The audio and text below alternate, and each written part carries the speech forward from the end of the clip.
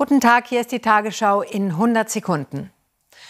Bundespräsident Steinmeier wirbt für respektvolle Debatte über Impfpflicht. Steinmeier äußerte sich bei einer Diskussionsrunde mit Bürgerinnen und Bürgern zu dem Thema. Ende Januar soll es im Bundestag eine erste Orientierungsdebatte geben. SPD-Abgeordnete wollen dann Eckpunkte für einen Gesetzentwurf vorlegen.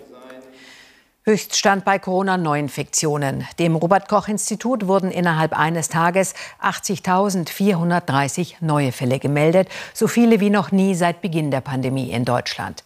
Die Sieben-Tage-Inzidenz liegt jetzt bei 407,5 und hat sich damit innerhalb von zwei Wochen nahezu verdoppelt.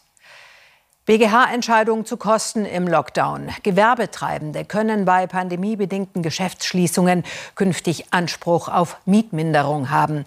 Wie hoch der Abschlag ist, muss aber im Einzelfall geprüft werden. Dabei sind unter anderem staatliche Hilfen für das Unternehmen zu berücksichtigen. Grundlage war ein Musterfall aus Sachsen vom Frühjahr 2020. Bilanz im Missbrauchskomplex Bergisch Gladbach. Nach Angaben des Kölner Polizeipräsidenten wurden in den vergangenen beiden Jahren 65 Kinder befreit und 439 Tatverdächtige identifiziert. Der Fall kam 2019 durch die Durchsuchung bei einem Mann ins Rollen, bei dem große Mengen Material zu sexueller Gewalt an Kindern gefunden wurden.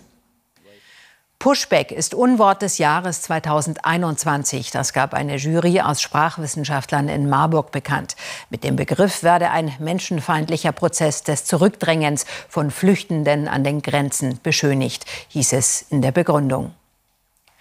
Das Wetter. Im Süden neben regionalen Nebelfeldern freundliches und sonniges Wetter, sonst viele Wolken oder Hochnebel und örtlich Nieselregen. Im Nordosten auch Schnee. Minus drei bis plus sieben Grad.